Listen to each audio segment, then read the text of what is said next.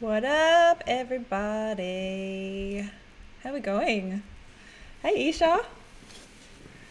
Hey, how are you? Good. How are you? So nice to see you. Hello, everybody in the chat. Um, there's a bunch of people who are already here that I just want to say hello to. We have uh, Mar- uh, Marlis, uh, Kenzie, Ines, Mecca, Aaron's here as per usual. Um, Britt. Steph, Franz. Um, who else do we have? Asia is here. Gab's here. Uh, Kenzie, did I say Kenzie? Uh, um, got the regular crew, which is amazing. So lovely to see everybody here, and I'm um, so stoked that uh, Isha could be here with us tonight.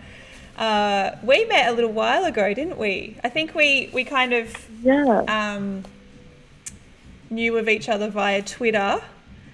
And uh. Tiogan's here as well. So nice to see you here. And um, thanks to the new followers, I saw a bunch just um, jump in before as well. So uh, yeah, we kind of found out about each other's work via Twitter, and um, then we got to meet uh, while I was touring with Rule in London, which was super cool, and have a amazing. Yeah, you took me to some great restaurant where we ate amazing food. like High Place in Brixton. Yeah, It yeah. was so good. Oh, was- I think that was Mhm. one of my favorite parts of touring was um, being able to meet people such as yourself and Maggie, who I'm going to be speaking about both of you in a sec. Um, there was a bunch Yeah. of photographers that I got to meet while I was on tour, which was so cool. Um, and who? Uh, Colleen's here as well. Nice to see you, Colleen. How are you? How is everyone feeling? My God, what a weird time. yes. Insane. How are you- Very, very weird time. How, for how are you feeling, Ish? What's what's um what's the general vibe? Um, I don't know. It just it feels so weird. Like the past week has just been kind of like a blur to me. It's just been like like feeling guilty for not being on social media, but then feeling guilty for being on social media and like trying to keep up with everything and not missing things. And it's been very overwhelming. But in a way, I thrive off like being put under pressure and being put in like situations where like you have to do this, this, and this. And I've just been like constantly like on my laptop creating assets. Um, and it's been so much fun because I'm not working. Like as a photographer, I've got no work. So it's nice to get into a project and put in all your energy. Yeah, we were just saying that kind of um, before I went live, but um, you, I mean, we all haven't been shooting. I only just started shooting as of last week, but we haven't been able to work, which is a really weird feeling. And I, I feel like we're very similar in personality in that, like, where we keep ourselves very, very busy. So when that is taken away, Yeah. it's like, that's basically why I started streaming because I had nothing to do with all of Yeah. this energy. And it feels like this is what you have done now, um, especially in the last couple of days, to put this collective together. So I wanted to, um, I really wanted to get into this straight away. There's um, Yeah. what you've been working on and, and what you've been working on with Maggie to explain to everybody. Do you, I'll let you just do all the explaining. Okay, amazing. So during this time, um, I've kind of just thought about ways in which like I can help personally, but then also I thought about it as like every little help. So if everybody kind of gets involved, we can collectively make something that will be a bigger impact because not everybody has a big platform. But if we create a platform for these people, then it will just give them the impact. So what we've kind of done is um, me from the US, sorry, me from the UK, Maggie from the US, have kind of teamed up to launch um, a joint kind of hub where it is just called Black Lives Matter Photo Collective. Um, we don't want to brand it, it's not about us, it's just about them. Um, and we're just basically asking photographers from across the world to donate one photo, and I will handle the UK shipping. Maggie will handle the US. Um, I'm also doing international because it's cheaper for me, and it's just a way that we're gonna get people to donate money um, to you know all Black Lives Matter causes. We've decided to actually go with a split donation. There's a website that would be on our website, um, and it's just basically saying that it's all the profits will basically be donated to various Black Lives Matter charities, organisations, because we had a look at we were going to originally do um, Black Visions Collective, and they reached out to us and said, "Look, we've got so much money. Please donate to someone else." So we we kind of want to make sure it's going to the right person. So that is basically um, Black Lives Matter Photo Collective in a nutshell.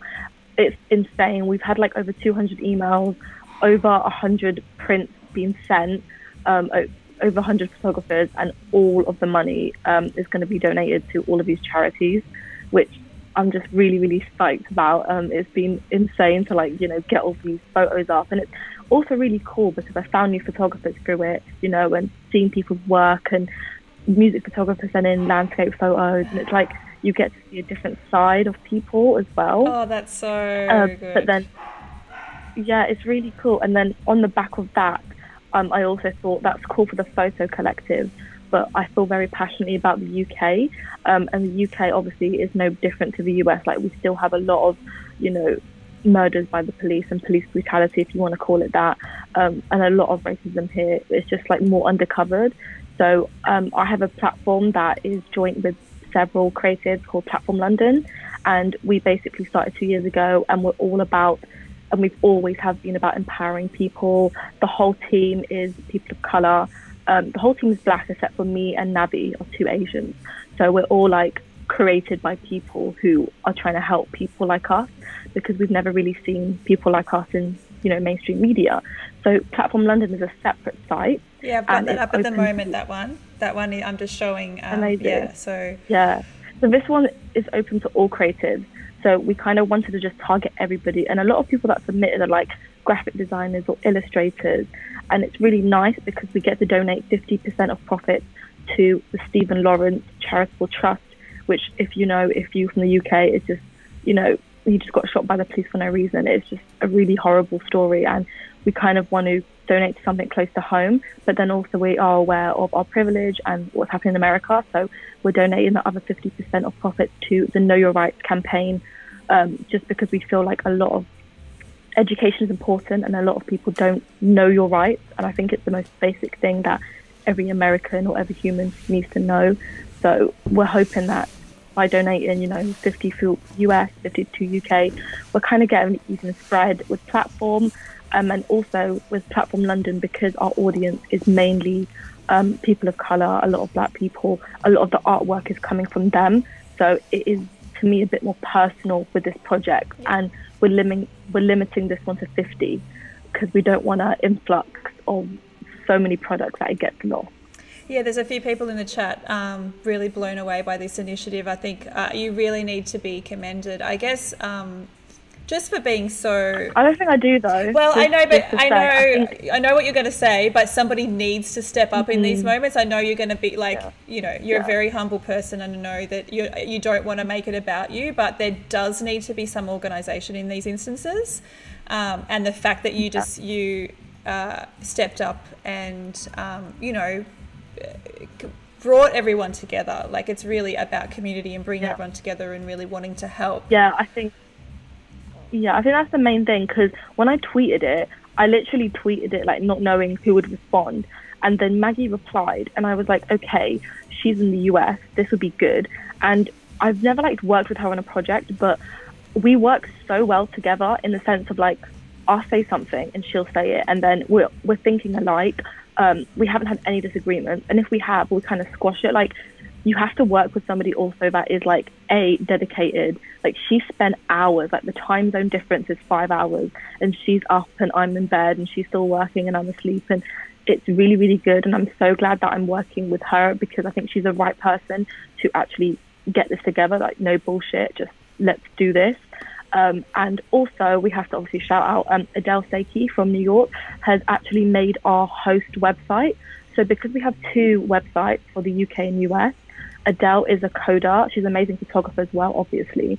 But she has made a host website that is basically going to be our main website. And you click on the link and you can have all the info to the US site and the UK site. So shout out to her for that. That's the BRL um, Collective one. That's that. That's that hub. Yeah, yeah, yeah Black Lives so Matter Photo Collective. That's the one that's not live yet, but that's going live at some stage today. I've just got that up on the screen at the moment. Um, yeah. yeah. Yeah. So this one isn't it isn't live because we've we still have submissions. Like today, I opened my emails and we have submissions, and we just want to make sure that we're everybody who's sent a photo, we're going to upload. Like we just want to make sure it's fair and even, um, and we're not cutting anybody off, and everybody has an equal chance. Um, so that's why we're waiting till tonight. So for the Black Lives Matter Photo Collective, if you want to know the time for launching, um, 8 p.m. UK time, so that's BST, um, 12 p.m. Pacific time, so I believe that's like the West Coast, yes. and then I think it's 5 p.m. for like um, EST, so like the East Coast. I'm not sure about these American times. I'm really sorry, but yeah, great. and obviously for you guys in Australia, it's going to be probably tomorrow. Probably tomorrow. It's Thursday night. Yeah, it's quite late. Yeah, yeah. Um, and and then just one more person to shout out for this. Um, we have Junior. Rod- oh God, what's his last name? Junior Gonzalez, I believe. Please, if I'm butchering your name, you know, I'm sorry. And he's just come up with the logo and he's come up with all the assets. So he's made like over 130 assets. Oh wow! So all of you guys can promote your work because we want to make sure that while everybody who's involved can promote their photos, we have um, the information attached to the asset. So it's not like about you; it's about like all of these donations are going to go to this charity. So every time you see the photo, you'll know that. Um, and like I say, I don't think we need to be congratulated because this is the bare minimum we can do. But at the same time, I feel like we should have got a bigger team involved because it's so much work. Insane. That's I mean that's I think because I know I've been involved in really big projects. So the reason that I I do think you should be commended because I, I absolutely know how much work that is, and you've done it in just a few days uh, with the, the team of people. Mm. Um, so yeah. it does it does take commitment. It's really great that you said that about Maggie and, and I assume all of the, the people involved. Um, you do need real dedication in those times and you need people that commit and don't like go disappearing or whatever. It's like there it's it's hard to explain if you've never done a project like this, but it's just like all hands on deck, work yeah. across the, the you know, around the clock um, to get something up and running like this, but it is a really, really worth worthwhile cause, and I'm really stoked that you did it. There's um, Gab was in the chat mentioning that she's really stoked to have an image included. Yeah. Um, oh my god, so stoked as well. Yes, I'm also stoked to have an image included. Um, there's a few. I def- I know we loved yours. We couldn't pick. we were like, can we put them all in? I sent a bunch because I was like, but... I don't know what is most appropriate, so I was like, you guys pick. So. Oh, we, we, I think we picked the right one. Okay. I think it, it looks good on the homepage. Great. Definitely. Oh, that's awesome to hear. Yeah, I mean, like in these situations, I feel like um, artists, especially, is like we we just want to help. You know, it's not about us. It's whatever we can do um, to yeah. help the situation. And I really feel like you guys have just uh, uh, a the concept and then bringing so many people together. You really do need to be commended. So you're awesome and you can take thank you yeah. but um uh, so I've posted the link um, in the chat, so people can just just keep checking yeah. that over the next 24 hours. It'll be up really soon. Um, but I do, uh, I would do really want to let our people know about you and uh, what an amazing mm-hmm. photographer you are. So um, I'm actually going to pull up, uh, I'll pull up your website and we can go through Oh, okay. Um, some. I haven't updated oh. this in a bit, but we'll just go through. Yeah, it. that's what everybody says uh, when I get them on here. They're like, "Oh, I haven't updated it yet," but it's totally fine. Um, so okay, amazing. Okay, we're just going to be on the main page. So. Um, yeah, I think the main page is like. Yeah, I'm just going to scroll through um, some of your work, but um, do you do you want to give a bit of a um, background into how you got into music photography. So, um, you know, just for to give you a bit of background, pretty much everyone that is here watching um, are either currently working music photographers or aspiring music photographers or want to be doing what you're doing, basically. So, as you know, all of our journeys are so different because there's no like yeah. one way to get into this. So, it's always really interesting to hear the backstory, you know. Yeah, okay. So for me, music photography, it sounds so cliche, but it was something I kind of fell into.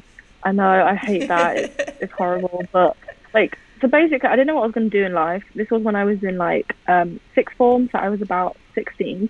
And then somebody literally tweeted, you can study music journalism. I swear to God, I went to uni because somebody tweeted that. I used to be obsessed with like Kerrang and Roxanne into rocks. I was like, yeah, I'm going to be a music journalist. So I literally went to uni because of that tweet. uh, which is insane. And then from that, I was obviously writing about music. I was doing journalism. So journalism obviously involves photos, videos, multimedia. Mm. And it was kind of organic how we could rent out cameras so I didn't have to pay for anything because I, I didn't have a lot of money at the time. Like I don't come from like a wealthy background. So like I never was owning a camera for like three, three, four years, just renting out from uni. Wow. All this like high tech gear. That's so cool. Yeah, it's, it, it's really great to hear that uh, though, because I think people worry about mm-hmm. gear at the start. Like people are really oh, caught up in if it. I'm being, yeah. yeah. If I'm being honest, like if you have the means by a university or college to rent out gear, like just become friends with the staff. Um, they kind of let you know take out stuff you're not meant to, but it's really good to just build relationships with people who can help you um, in a like legitimate way. So I think do not worry about gear. I think I was shooting on a 70D, so a Canon 70D, which is not classed as a professional camera, and I was shooting on that for a good four mm. years and a good year into my full time um, freelance career, which I'll explain in a bit. Yeah. So yeah, I was just shooting like you know gigs to go along with the reviews, and then second year of uni, I was about 19. I just got sick of like writing, and I was like, I just want to take photos. So then I started more on the photo side, and then created like a magazine with some friends that was just collective of creatives. And then honestly, from there, I kind of like took a break because I had to like dedicate my time to uni. And then during that break, I got approached by like a label and I realized like, okay, wait, I can make money from taking photos of musicians. So from that, I really have to obviously give, give credit to Jack Garratt because he was the first artist, the first person who a paid me, who recognized me, and created my career. It was a kind of a snowball effect from there. So I shot his gig for press, and then not for anybody for my magazine. And then he just contacted me and he, he actually bothered to email me, which you know people don't. And he was like, "Look, I love your photos. Um, I love your work ethic. Please come to the show tomorrow. I want to meet you." So I just travelled to Brighton from Southampton and I met him, and the most humbling person to meet for my first experience backstage, AAA. It was amazing, like such a lovely person. I introduced me to his fiance at the time, who is now his wife, um, and everything about it just felt so safe and amazing. And literally from there, we kept in touch his label at the time, Interscope, reached out, um, and that's when I started realizing, okay, I can make money off this. Mm. And you know, there was a bit of this kind of feel of, oh, I don't want to be a beg, I don't want to like reach out to people, but I didn't hear from the label in like a few months, and I was gonna reach out, um, and then they just started emailing me, and they're like, do you want to take photos for us in the UK, and this is how much you'll get paid, and this is what you have to do, and that was like again a real experience for me because I've never like freelance with somebody, and that was in 20. I want to say 2016, maybe 2017, and I've I still freelance for them to this day. So I would say a massive shout to Interscope because they are a the first big company who have paid me and a lot of people. Um, and I recently went to their office in January in LA and just had a chat with them and got to meet the faces that I've been emailing for like four mm. years. And I think it's a it's a lot of cases for a lot of photographers. I'm that get hired by Interscope and they're the first people that pay them and pay them well. Like they pay your worth and you know they always ask how much you charge um, and I think it's just really great. So really from there I only really started taking it seriously when I figured out I could make it into a business because for me especially I couldn't do a creative job that wasn't going to earn money from you know coming from an Asian household. You know everyone's like Uh, my my cousins are studying like you know Spanish law, business. My other cousin is studying medicine. Like nobody is creative at all, and I think for me, I couldn't like disrespect that and just like take on a creative job that doesn't pay. So I think I've just used that driving factor in my work and kind of like taken it on, but made sure that it's a business and it's not just a hobby. Yeah. I'm getting paid. I'm getting paid good. Yeah, that's awesome. So just think, um, just a quick shout out to Bethan who just joined the chat. Thank you so much for the follow. Really appreciate it. Hey girl. Uh, there's so many lovely comments that are coming through about your work, which is really awesome. Um, uh, there was a really great one before. I've just got to try and find it. Uh, lots of wows, lots of very aspiring, um, so talented. These photos are beyond beautiful. Uh, I love this comment from Aaron because I really agree with it. But very unique editing style and phenomenal presentation on the website as well. You do have a really, oh, a really beautifully unique editing style. I think. Um, there's there's a lot of design elements I've noticed with your editing. Do you have like a design background? Like, did you how did you learn? Mm-hmm. Did you learn Photoshop or like? There's a real um, there's a real skill to what you do. It's not just like you know you've just yeah. stumbled onto editing yeah, like sure. this. Yeah, I think um, for me it was all about like when I was taking photos. I was just at the start I was just using like VSCO presets, and I was like okay, this is cool, but I want to create my own. I want to learn how to make presets and use them.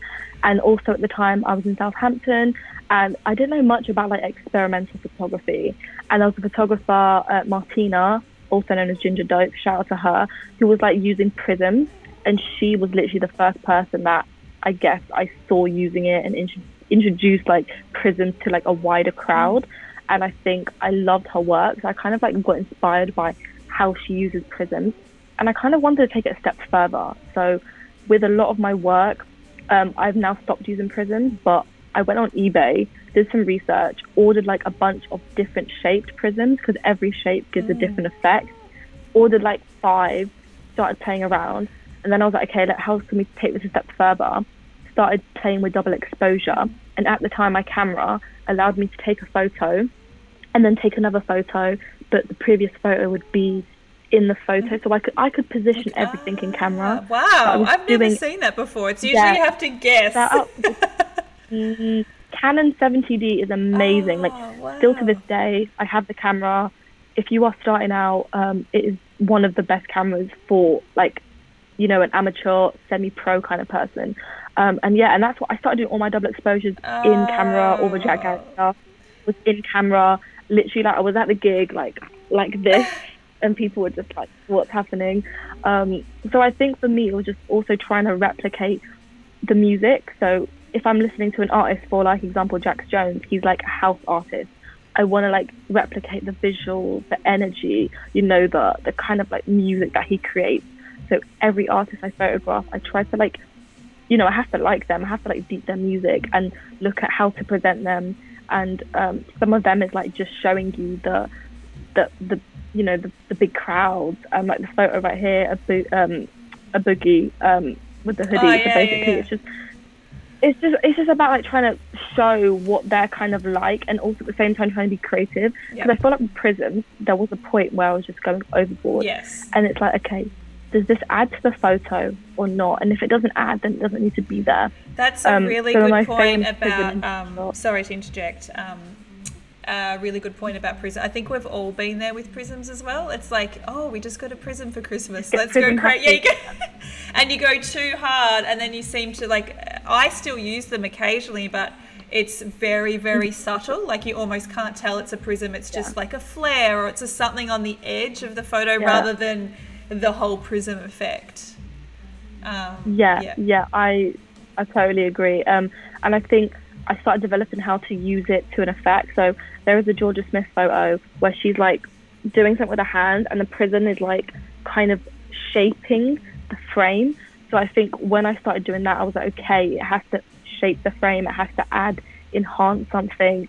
Um, and then I'm not gonna lie, recently for the past year, I've just been working. So when I say I'm being working, I haven't been creative. So a lot of my work is just like your standard photo with a star filter, maybe a prism, um, more moving image. Again, I like to always challenge myself. So from then, I was like, okay, how do I take this step further? Like, I can take videos, but let's merge the two. And this was the time that I was looking at a lot of like Spencer Miller's photos, um, like a lot of Gibson Hazard, and I was really inspired by his videography um, and just like how to make moving images. And I used to see on like the VSCO pages about um, the cinemagraph, and I thought they were cool, but you know, let's make it a bit more. So I started incorporating like music and like video images and text and overlays from YouTube to create moving images, which I don't know if it has a name right now, but it's like to capture a snippet of a gig and it's like on a loop with the music and you know the motion yeah. So, for example, you know, if there's smoke in the image, you can make that move. Um, yeah, just always trying to elevate my work, I guess. Um, right now, at the point of like, what can I do next? So I'm looking at text Um, I never really had a design background. I know I've gone off tangent. Sorry. No, no, it's great because But- I, I th- it's all really relevant, and um, it, regardless of if you've had a design background, you have a design eye. So it's really great to hear, Yeah. you know, your pathway. So please do continue. Yeah. Yeah. So I've never really had a design background, but I feel like again, like I said, like I've always been creative. Like, you know, since I was like a kid, I'd always used to like write my own horoscopes and make my own magazines. And me and my friend used to make our own like anime mangas. Like I've always had and make our own Pokemon. Like I still have a book of us creating our own Pokemon with all these like effects. Um, so I think I've always had that. I just didn't know where to like challenge it. And I think YouTube, I will say, YouTube is free mm. and it is the best tool in the whole world. I've learned everything from YouTube.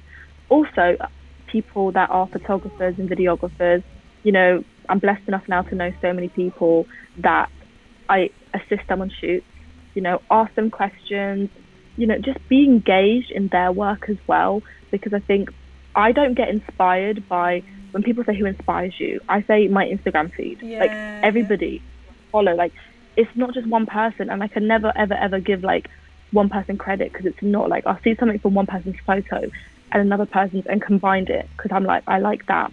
Um, and also another thing, like this may sound ignorant, but like I don't really know any iconic photographers. Like I haven't done the research into like who is who started photography, who paved the movement.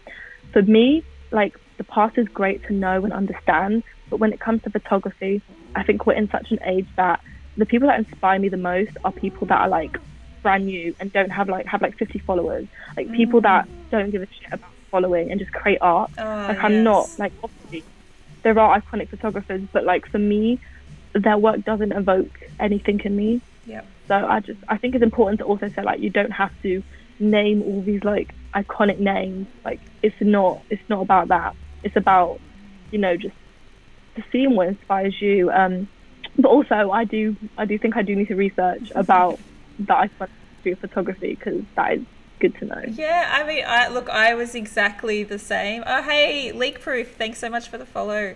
Um, I definitely was the same. I think it definitely when you're self-taught, you know, you've just picked up a camera and you've just off you go. Um, you yeah, you haven't studied. You haven't gone to university. You haven't gone to a school to study. So you haven't learnt the theoretical background of.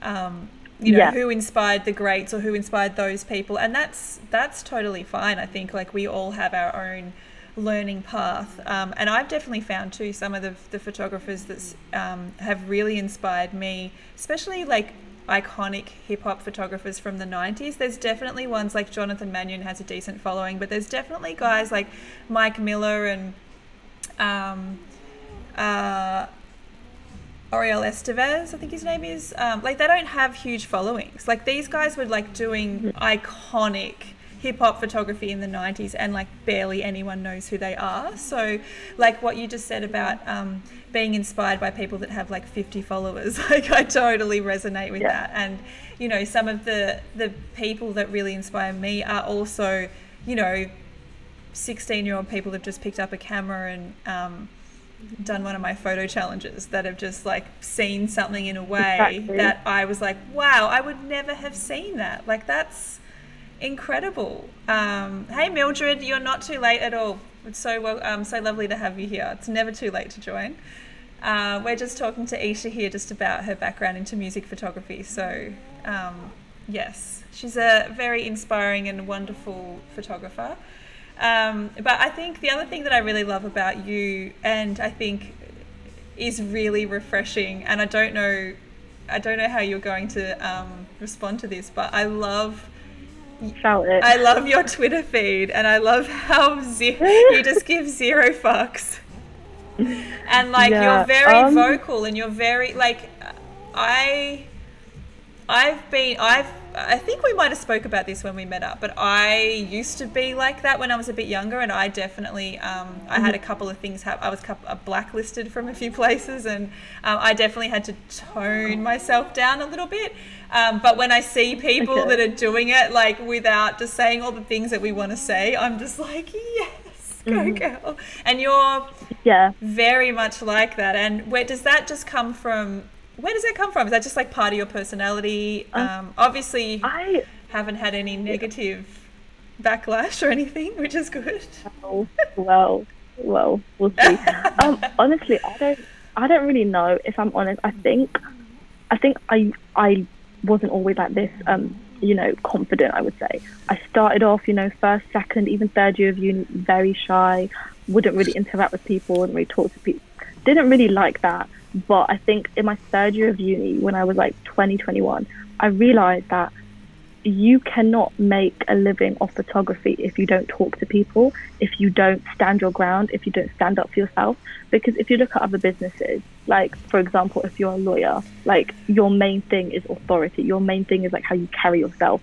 People will hire you on your reputation. Like, and I think that your reputation is probably the most horrible quality, apart from obviously your work. But I think I've just I know a lot of people who may be average at what they do, but the way they carry themselves is so believable and so like confident that you kind of want to be a part of it. Yeah, yeah. So, yep. you know, I take I take a lot of in- inspiration from like again my friends, my family, people I've seen on TV, like you know fake characters, and I kind of like see that and try to emulate it. So, I just started to change my mindset about like how to be. And it was definitely a slow kind of thing about being vocal. Like it kind of came with confidence. So i would like slowly try to talk to new people approach people you know send emails um, not be worried about not getting replies or rejecting mm. emails. So it was a slow process. And i think only like in the last two three years i was very like stable and happy with being vocal. Because i think for me there's so many people um, that email me and say stuff like, um, "Hey, we want you to shoot this. Here's the budget," and then I reply with, "Okay, can you do it for this amount?" And they'll say with, "Oh, but the other photographers we've worked," and I'm just like, "No, no, no, no, no." You can reply to the email respectfully and say, "Sorry, we cannot," but do not put the blame on, on other photographers who don't know better. Yes. Like, and it just it guilt trips you, it gaslights you, it makes you think that your work isn't of value. And I think that is the most disgusting thing of, of, of a client to say.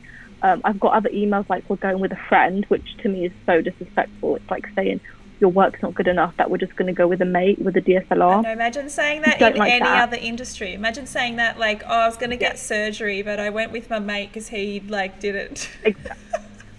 Exactly. Exactly. It's, we, it's exactly. only us that gets bullshit like that. It's so disrespectful. Yeah. I like. I was I was so sick of it because a lot of these people were these big old white men in these big old white companies that I knew were hiring me because it's in to be diverse and it's in to have diverse in your bio.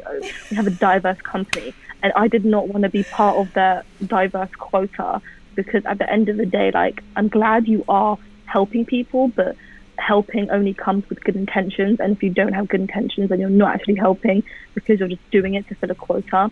So I just kind of wanted to be vocal on that part. And if people ever use the word diverse to me, I'd be like, don't use that. Like, you're white man.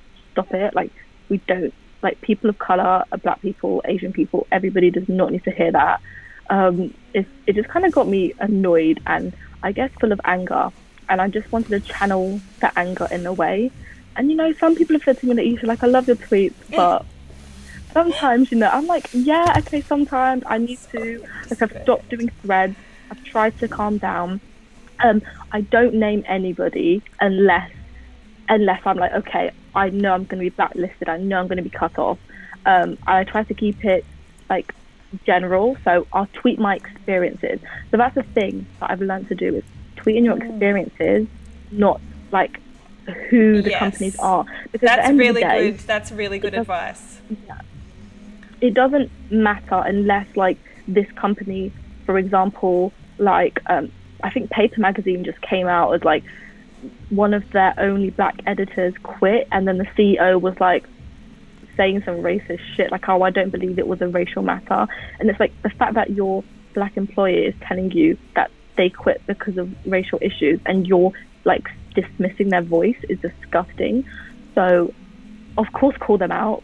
Yeah, I would definitely do that. I've only called one client out because they did not pay us for 90 days, yeah. and there was a team of like 16 creatives, and none of us got paid. And because I called them out, they paid us. Oh my so god! I had this. I've had the exact change. same experience. I've only ever called out a company publicly once, and it was a Yeah. it was an organization that showed my film, which is a women in music film, on International Women's Day, and then decided not to pay us for eight months. And I was like, and I, I was so like so offended. I went, you know, I had to see a, a lawyer had written a letter. We'd written multiple emails. Oh, wow. So I was like, I said to my lawyer, can you please let me know if it's okay if I tweet? And she was like, usually I would say no, but this is last resort. Um, and so I tweeted, and within okay. 20 minutes, they paid us because they got this huge backlash. Because, uh, ev- like, you know, in Australia, a lot of people have seen my film and it had a, a lot of impact. So people were horrified that they would have used our film to get people into their venue and then not oh. paid the women that were responsible for making the film on International Women's Day. Like, yes. So I, I, I think last Yeah. resort. I'm not really massive on call out culture in all instances. Yeah, I think I it's gone over the overboard and it can be quite toxic. But there are instances where it works. So I'm really glad that you brought Yeah. that up because I think it yeah, can I be. think obviously just to just to highlight, I'm not saying like if they don't reply to emails, like if you have like we threatened legal action. yeah, you've got it's um, like none of us got last lawyers resort. involved. Yeah, and one of us actually went to their office, and the person who was in finance wasn't in. So Oh. we, we did all these steps. Yeah. um, and it was like it was me and the other girl who was kind of leading this kind of like demand. Um, and then what was interesting is they paid me and her, but nobody else. Oh my god. So then we were like, okay, no, we still have to fight just because they've paid us. It's not fair. Like my other, my, the other people on the team haven't got paid. yes. So we just demanded, demanded, and um, obviously adding a late fee. That is something you're legally entitled to.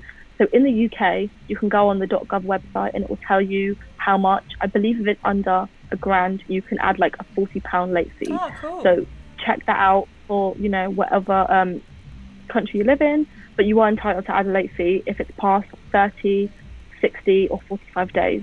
So it just depends on that. Um, I would say if you are having trouble with a client, the best thing to do is I send follow up email. So the day the payment's due, I'll wait. The next day I'll send an email saying, hey, just wondering when this will get paid. So you have to word it as though you're not demanding money, but you're asking. The week later, I'll send another email saying, hey, just chasing up. I really need this to get paid. So you're again trying to briefly demand, but you're still asking. And then if it's two weeks late, I'm just going to say, sorry, here's the late fee, pay it now, or it will just get increasingly bigger and bigger. And then if they haven't paid in a month, it's like you threat them legal action saying, if you do not pay this by this day, I will, you know, get um, lawyers involved. Usually by then they pay. I've never had to go a step further. Um, I just send them really like wordy emails and they just get scared.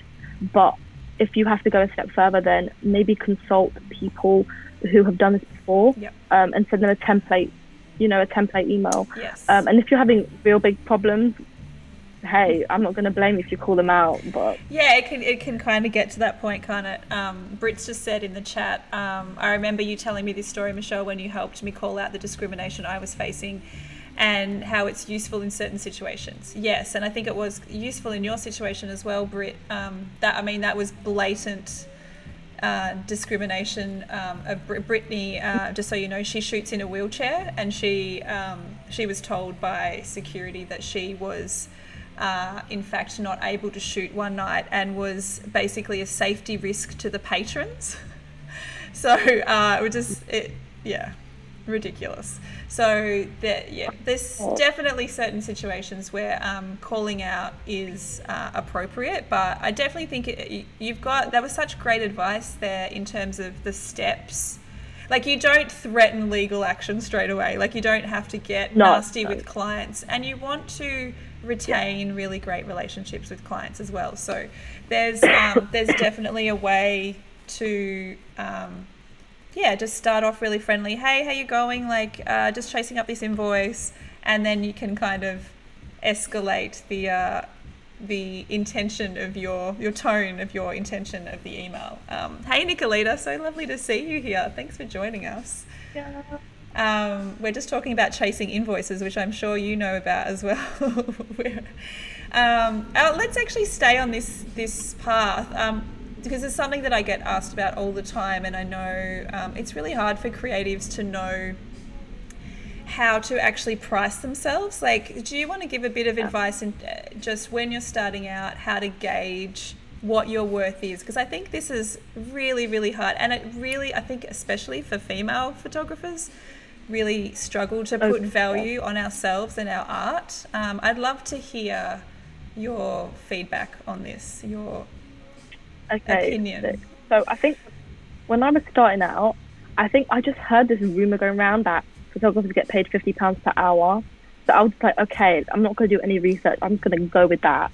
and then as I started doing jobs that I didn't account for editing, so I would charge a client like for a two-hour shoot like hundred pounds, but then I have to edit I didn't account for that.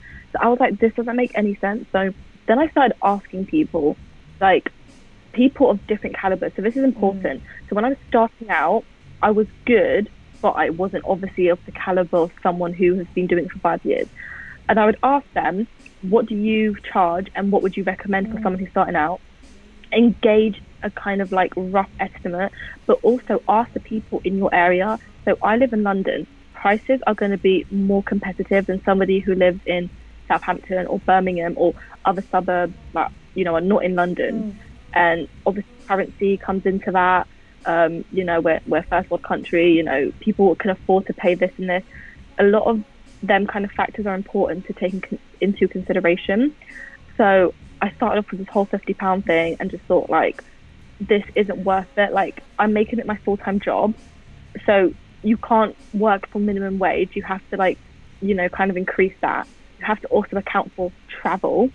So what I normally do is I like to just say my rate is this amount plus expenses because for me, I live like in the suburbs of London. If I'm doing a shoot and it's like the other end of London, um, you're going to have to pay for a travel or an Uber if I have heavy equipment. Um, if it's like I have to get the train, you have to pay for that. And I, I never know the exact price, so I just like to say plus expenses. Um, also, expenses includes like food. So legally, um, in the UK, um, every six hours you need a break, like legally. So if the shoot is like a whole day, they need to like obviously pay me for food um, that I can, you know, eat and carry on doing my work. Um, so that's a good thing to put in. Um, another thing I would say, so it depends on. I charge by client, and I firmly believe about charging by who is hiring you. So when I first started out, yes. my first two years were like it was I was in uni. It wasn't like I wasn't doing it for real, and I was just shooting gigs, and I wasn't getting paid because it was all publication work. And then once I started getting paid, I was like, okay, you can charge by client. So if it's, for example, um, a portrait shoot with a with a model who is not signed and it's coming out of their pocket, just understand, you know, it's one person who's paying you. Um, it's probably not going to be much. So in the UK, maybe for an hour shoot, you know, £100, £150 per hour, I think would be kind of reasonable because you have to value, you know, all of these factors that go into it. Um, definitely when I was starting out, it was like fifty pounds per hour. Yes. at the low end. Yes. Um, um, and you kind of develop that. You just said something really important that I just wanted because I've said this before in this stream before. It's real. I think it's really important. I still do the same thing to charge based on your client. If your client is an independent, unsigned artist that's just started out versus a client that is a label that has label backing, that yeah. completely different rates um, mm-hmm. really important 100%. to know to understand and know um, i guess who's paying for it if there's budgets all of those things mm-hmm. really really really important yeah i think that's a really important factor so when it comes to music um, it's also important to charge okay so live music right are we going to be doing the first three songs or are we going to be doing the whole gig so i would recommend for every photographer to make their own pricing sheet and do not post this public because it's very off-putting when you go on a photographer's website and it tells you the price because there's no room for negotiation. There's no room for like, but I'm I'm an independent artist. Have it for yourself. It's just for yourself so to refer you, to. Yeah. Oh. Yeah, but also when people email you, you can you know, just send them the sheet, and it's like a nicely formatted sheet that they can look at. Sorry to interrupt. Um, we just got a um, subscription gifted. Steph gifted a subscription to um, Bethan Miller. Thank you so much, Steph. That's very, very lovely. Hey, Bethan. Oh, yeah, amazing. Keep continuing. But yeah, again, like I say, like still to this day, um, depending on like I, I don't know, I don't really class myself at a certain level, but I still will photograph bands who are like not signed and obviously do it at a, a lower rate because it matches them just because I feel like everyone deserves nice nice photos. So I just feel like it definitely depends on what you want to take. So um, yes. um, that's a good factor. But a rough estimate, because I know people like to hear prices. Um, if I remember correctly, if it's for like you know an unsigned band and it's just like three songs of their gig, um, I'd probably charge 150 um, for that. And then when it comes for photos, I kind of give them I guess like 10 would be a good number because I don't want to give them so much, but I want to give them enough. Um, and also, it does depend on how many people are in the band because they're all paying you. So just take that into account. If it's obviously for um, a label or like a manager or an artist who has the budget, a live gig can be anywhere from like 250 to like 400, I would say. Um, a lot of the time, I do work with labels and I do work with um, artists, and they want me to do video and photo. Mm. So that is something I'm still struggling with with pricing, but that would definitely be up there in like the 350 minimum for a gig if it's video and photo. Because at the same time, yes, you're only there for like a certain amount of time, but you're doing two jobs, and you have to factor in like video editing is a lot of work. So it really, really does depend one thing I like to do is before we discuss rates is just say, hey, so how much do you have budgeted for this project? And you can gauge what they would say because sometimes a client has come to me and they've been like, okay, no, we want to know your rate. So I'll just give them a rate and they agree. And I'm like, oh God, no, let me go higher. Like, I should have gone higher. So, a kind of good rule of thumb if it's with a big client, um, then you can definitely afford to go higher. So I know I do branded work for like Adidas and Nike, mm. and a lot of their projects, like the bare minimum I know I'll get paid is like a thousand. Like you can go up to 10, 35, like for these branded projects. So I know for a fact, um, always aim high, but don't insult your client. So do your research. Yes. Um, again, like I say, if it's like a big brand, you know, you can go in the in the big figures if it's a manager and a label, you can still go in the big figures, but also don't don't go too high. And then if it's an independent artist, probably best to ask them what they have budgeted, and then you can kind of look at the rates and take on what you feel is fit. Um, I know for a fact, like I still work with like whoever I vibe with and like and feel passionate about. So I don't discriminate on like small following. Mm. Like that doesn't matter to me. As long as like we vibe and I like you and like everything's good. Um, and if you want if you want me to do the work, then I'm happy to. So it definitely does depend. Yeah, that's such great advice, um, and I like absolutely echo all of your sentiments. I completely agree. Um, as, and also too, I feel like some of those um, you don't know where those entry level artists will end up. You don't know if you're start you know starting out a relationship with someone that's just burst onto the scene and you hit it off yeah. where that could go and all of like all of the best relationships that I have that have gone the furthest have started when the, the person nobody knew who they were, you know, and you've started off That's, probably not working for very much. Um, and it's, yeah, you, them people are very loyal. People are very loyal, especially if you know if it, I've stressed this so many times, and it's it's really hard to not continue to harp on about how important the friendships and relationships with artists are, but they're literally yeah. the people that give us our jobs. They're literally the people that will take us on tour. Um, so mm. it's really, really important. Um, uh, Nicolita's yeah. just asked, do you have a contact for working with smaller artists? Or just cover usage via text? or a contract, sorry. I just read that wrong. Um, or just cover via text email. I personally, I don't have contracts. I actually do it all in email and via my invoicing. Um, it's Yeah. I've never had any issues. Uh, it's I spell it out very clearly what is covered and what isn't covered. Um, I don't know about yourself, Isha. Do you are you similar?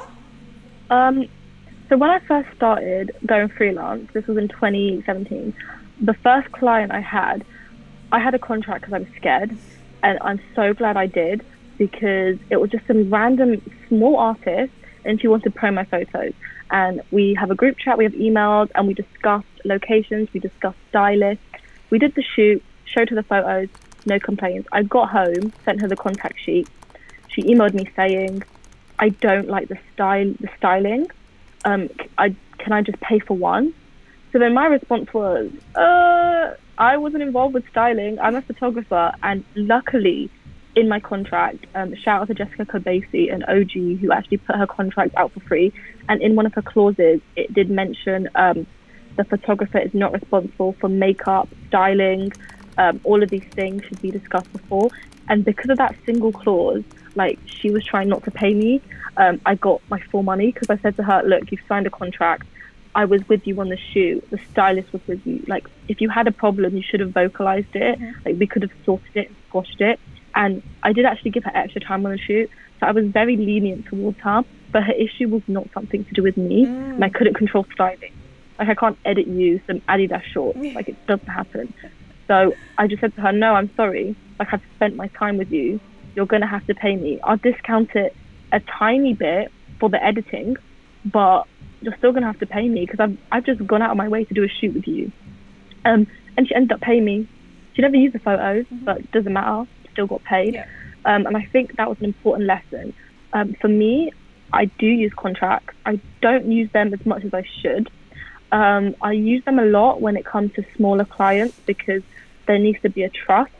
And I feel, I actually feel now it's the opposite. I feel like with smaller clients, there's more trust. And with bigger clients, they will mess you over a lot. Um, I like to have contracts, especially with touring, because you would not believe the amount of details that go into touring.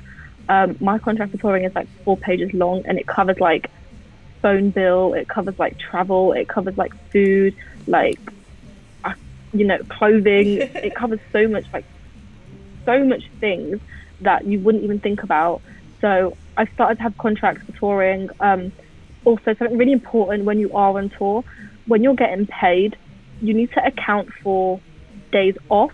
You need to account for travel days. You should get paid the full amount. The way you have to look at it as you're booked for a tour, you're booked for two months. That is two months that you physically cannot work in your normal environment. So you still should get paid for every single day. If they try and discount it, you have to just argue and say like, I could be in London earning like six grand, but you're out here paying me this much. I am. Do you know what I? I charge for tours. I know some people do day rates. I actually just do like um, like a tour rate, if that makes sense. Like I work out, okay, Okay. what am I happy earning based on the fact that if I was in Melbourne, I could be earning six thousand dollars this month Yeah. or whatever. What am I happy Yeah. earning because you know X Y Z, um, and that Yeah. has worked pretty well for me. But um, but it's again, it's really it's so tricky. The Touring is actually really tricky um, to know Touring how to tricky, to yeah. price. Yeah. So, Yeah, it is, and I think again it does depend on the tour. Like arena tours, stadium tours. Um, is it hotels? Is it a bus tour? You have to factor everything into consideration um, and get paid fairly. I do know um, when I was on a tour, um, one of the tour managers said a rough estimate for like crew is like two two fifty to three fifty per day. Um, that's what she told me. So it's just useful information to know. Um, and I was like, okay, cool, that makes sense. Um, and this was for an arena tour, yeah. I believe. So very, very interesting. It's really good to know I had to those guideline, like to just just to Yeah. have in your mind, you know. And then yeah, if you're let's say you're not doing an arena tour, but you're doing something that's a bit smaller, you can at least have that as a starting point Yeah. to know. Okay, cool. So if I was doing this, this is what I'd be getting. I'd be happy with whatever, hundred fifty dollars a day, whatever Yeah. it is. to work out what you're happy with for that particular tour. And obviously, your expenses, like they're paying for your travel, your Mhm. accommodation if it's not on a bus, um, hotels, all of those things, um, visas, Yeah. all that stuff, Flights, yeah, yeah. Very important. Um, Yeah, I think with touring, it, it also factors in how long. So I know there's people who would do a lower rate for a two month tour compared to like a two week tour. And it does make sense because you technically are working every day and you're earning way more money than, let's say, you were just back in London. Yes. You might only book, be booked for one day a week. So definitely factor that in and match your price with that. Um, the best advice I can give is definitely have a touring contract, please. Another thing I will say is when you are on a tour, some artists or managers love to rinse you and they love to get promotional photos and they love to say, let's do a music video today Oh, and get you to do extra work that is that not should always touring be work extra. um, put a clause in your Yeah. contract that you are only getting paid to do behind the scenes live music, touring environment. If there's anything promotional, then that is an extra fee. That is so important because I know a lot of photographers who get sucked into doing promo photos.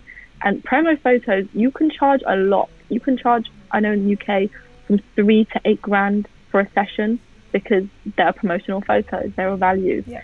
um, do not get you know sucked in by a tour manager who's like, oh, let's just do this.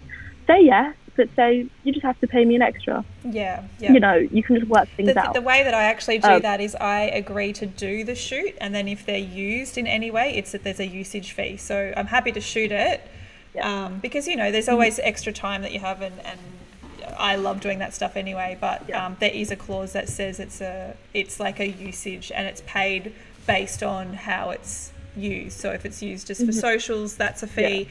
Yeah. If it's used for whatever else, other promotional, or right up to if it's used for, you know, even a Yeah. EP or a single cover or something like that. So, um, Yeah, I agree. I think usage as well is a really important topic that I don't think people also understand. Like right now, like print is low key dead, um, and social media usage is the most prof- well, one of the most profitable because everybody is on it. It's accessible to everybody, um, and you should charge usage fees.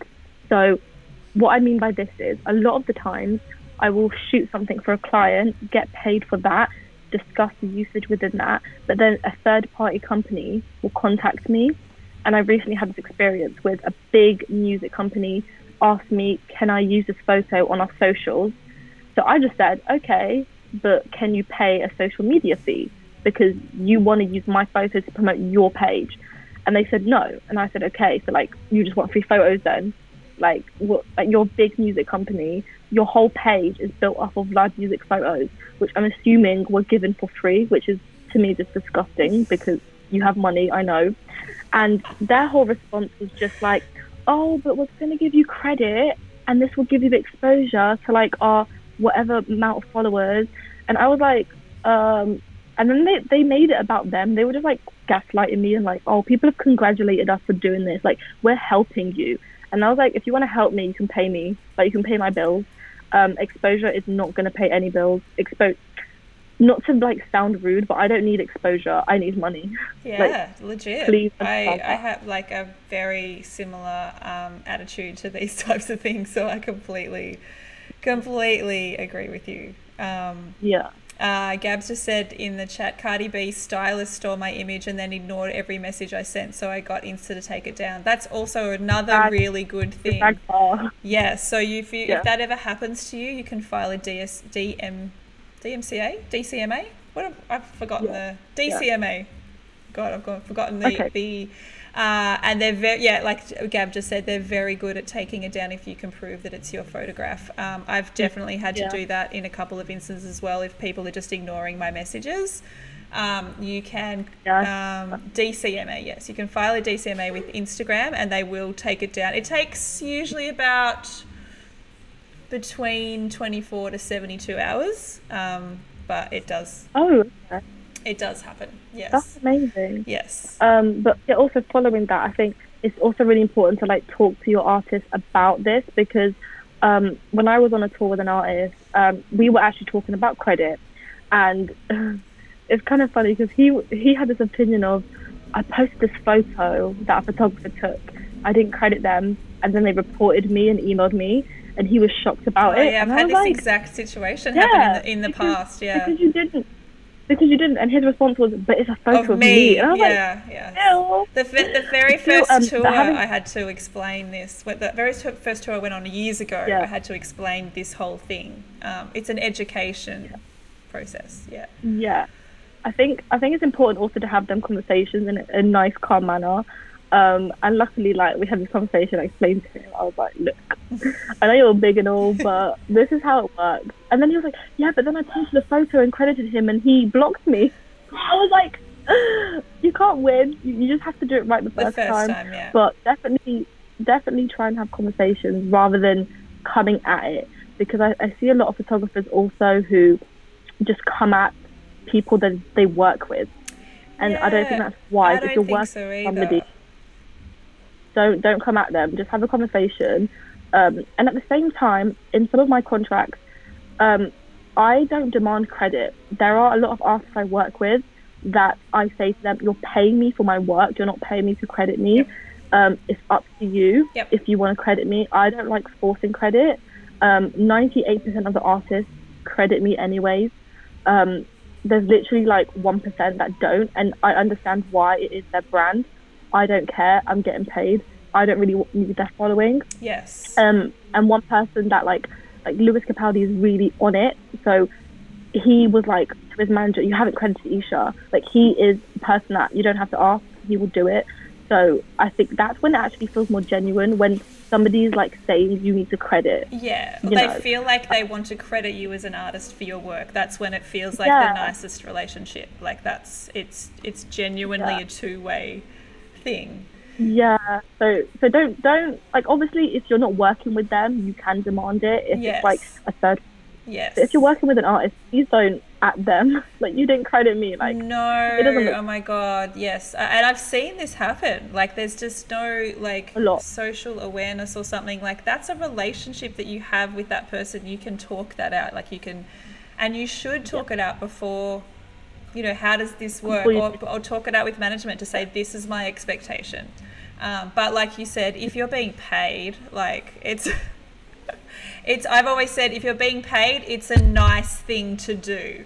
It's not an essential thing to do. If you're not being paid and you're like that's a completely different like that is your currency to be credited. yeah. If you are being paid, Yeah. You're being paid. Like your, your bills are being paid. You don't have to like doubly that. I mean, like I said, it's nice, and like most artists will actually go, you know, over and above and credit you, and it's a really really nice thing to do. It's just not an essential thing. So, um, Yeah. yeah, Gabs just said she's have she has to go. Um, so thanks for Oh, tuning okay. Well, in. nice having you. Yes, I, I did want to. You just touched on something. that I, I think it'll be under your tour. Um, yeah, it is. You toured with Lewis Capaldi last year. I wanted to touch on some of your tour work. That's your latest. Um, that's your latest one that you went on last year, and Um, was it your last? I've done two more, Oh, but I haven't, It's not on I haven't uploaded it. So yeah, one one is Arin is up there, and the other one is an Interscope tour. Oh, So that's a that's a diff- completely different type of tour. That was a label tour, and I will talk about that. Okay. Um, which one do you want to start with? yeah, uh, do I've got Lewis's one up on your screen, but do you want to talk a little bit about that one, and then we can go into one of your other. Um, Okay, cool. Yeah, so with this tour, this obviously today is my the biggest tour I've ever done, um, and just to like give people information on how I got that because yes. um, it was literally an Instagram DM. So it was a private account. The account was like a picture of a cat, but because it was followed by industry people, um, I kind of knew that it was definitely somebody bought. And all it said is, "Big music opportunity, ring." And I was like, "This sounds like Oh, that's a scam. But If I got that, if I got that message, I would Oh, literally no, delete I it. I rang the number. I on a Sunday. It was like nine o'clock. I remember you telling me this Sunday. story, and I was like, "There's no way I would have rung that number. I would have been like, big industry. I, I, know I, it's, it's good on you. Yeah. legit. I replied to everybody, I know, and then I rang her up, and she was a, was a lovely woman, and she was just saying, "Hey, I am so and so, head of Virgin EMI Records." I was like, "Oh, it could still could be a scam." still could be a scam. And she didn't name the artist. She was just talking about this opportunity. And I was like, okay, she sounds more legit. And she started texting me. I was like, it still could be a scam. Um, and then we had like a conversation for like two months, just texting. Um, and she did turn out to be legit, so it was all good. And she was just kind of briefing me on it for two months, um, and then setting me up meetings with the manager, trying to get me to meet the artist. Um, so I didn't actually meet Lewis until I went on tour, just because of schedules were so hectic. But there was just like a lot of prep involved, which was really good on their behalf. Um, just saying like, you know, it is going to be like a tour with like 30 Scottish men, um, you know, just so you know. And I was like, okay.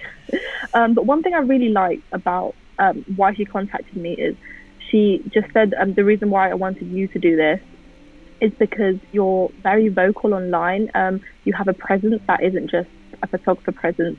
You're very vocal about like being a woman of color, you know, um, and about like representation. Um, you also talk a lot about astrology, which she found funny. Um, and I think they they were looking at a person Yeah. to hire, not a photographer. Yeah, your personality. Her her points were like, you're so different that I think you'll bring something to the team that they don't know and they don't have. Um, so I was like, okay, cool. And she's like, just are you okay with being, you know, on this big tour? And I was like, you know what? Um, just because I don't photograph that genre doesn't mean I'm going to say no. It's a big opportunity. I definitely want to see how it goes. Yeah. So uh, I did the Europe as like a trial kind of run to see how it would be. And you know, the second day in tour, he got ill and cancelled like four days. So second day tour, went home, then had to go all the way back to Spain. So it was it was a bit of like a rocky, a rocky kind of road. It was such a different environment to me. Like it was a whole bus tour with a few hotels. Um, and I love buses. I love the whole idea of like we're all in the bus, like sleeping together, like playing games. And it was a very nice, like kind of feel. Um, totally different, like genre, crowd, people. Like I was the only person of color. Um, there wasn't one other woman, but it was just me and That's her. wild. Um, like that's It is in a in a tour that big. Yeah, his whole crew. It everybody knew. So everybody in that crew had been working together for twenty plus years. Mm. Everybody was a family. So I think it's very hard when you kind of try and join a family tour and you're very different to everybody and you're trying to like fit in and you don't really know where to go. But I will say like everybody was so lovely and so supportive and very hardworking people. Like I would get up at like one o'clock and you know roll into the venue. Everybody in the crew would be up at eight a.m. Um, I will say like a very organized team. Like one of the most organized tours I've ever been on. No hiccups at all. Um, it was a lot of fun. It was it was very different for me, um, just in terms of like interacting with people and banter. And like, even though we're from Britain, Scottish people are so weird, and they're like fascinated by my accent. And I was like, "You're from Scotland, like shut up. It's not even a thing." That's so Um, funny. But no, I think I think I learned a lot from them, and hopefully they learned a lot from me, and it kind of rubbed off. Yeah. Um, but for me as a creative, um, because of his caliber, he's not really somebody that you can be as creative with. So I think it was a great experience. But for me personally, I wanted to do a lot more. And um, his whole brand is just like humor. Mm. So a lot of images, you know, that I took were that he used were only promo images. So um, for me, I was just like, it's great working with you. Like you're a great crew, but I want to find somebody that is posting every day, Yeah. is posting gifts. Like for me, it has to be a one-on-one like interaction online. Um, and his presence is mainly just like we'll post once a week. Yes. Yeah. It's very chilled, Yep. very laid back. Um, but like I say, like it was an ama- I learned so much Yes. on that tour. You felt like you could be offering more as a creative to somebody that would be using the content. Yeah. Yeah. Um, let's show another. Uh, what's another one that you've got up on your website that I can show that you feel like um, maybe you were able to be a bit more creative? Um, I haven't uploaded all the photos, but like obviously I work a lot. So with Mahalia, it's just like an ongoing relationship. Um, there's a So, tour and then I'll, I'll show a bit of that. Yeah. Um, and also obviously Arin Ray. There's that one probably is a good one as well. Um, so with with other tours I've done, I should probably like talk about my first few and how I got into touring. Yeah, well, I think um, everyone loves to hear the how did you get into touring story because it's Uh, it's it's just another mad story. Um, again, second year of uni, 2016. Um, one of my friends from this band called Montrose, who was in Bristol, and I at this time I only knew one of them. He was like, "Oh, we're doing a tour in Canada. We're teaming up with a Canadian band." I don't know what possessed me to just message him and like, "Oh, it'd be really sick if I could come and take photos." At this point, I knew one of eight members. Uh, and he was like on it. He was like, "Yeah, sure. Like you can come along. Um, we can't pay you, but we'll pay for like your accommodation and travel on the tour. Um, and all I had to do is book flights." So I was looking at it like I was in very early stages of my career. I wasn't earning any money externally. I was in uni. I was financially stable. So I was like, "Fuck it." Flights were cheap at that point. I just booked the flight and um, got a plane, you know, to Canada, and it was a very budget van tour all around West, East, Middle Canada, um, and with people that I just met. And one thing I will say is like Canadians have a, a spot in my heart because a lot of them have given me the steps to where I am now. And you know, it felt like a family tour. It was amazing. To me, it was like low key a free holiday to go around Canada.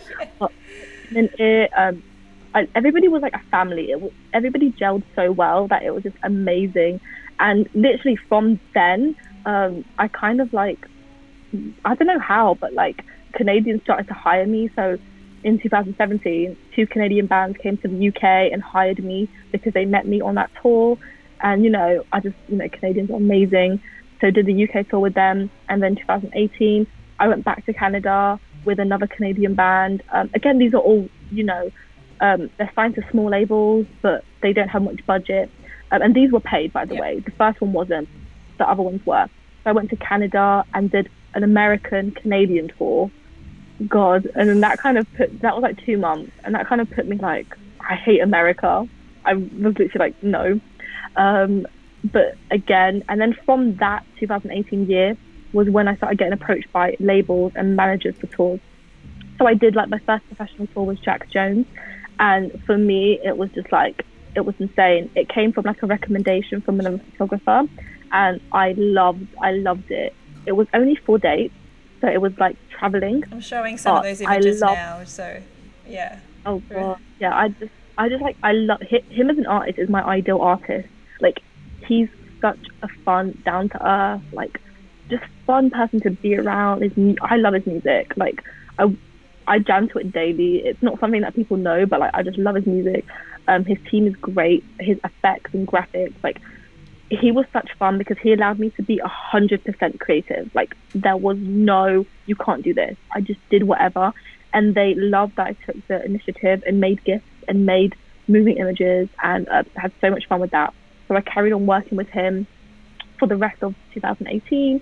Did various stuff, so like music videos and like Top of the Pop, and like he gave me an opportunity to like go to these iconic places and you know document him.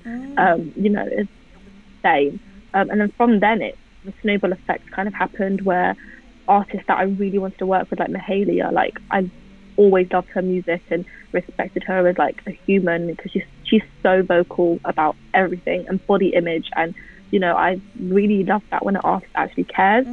Um, kind of snowballed from there.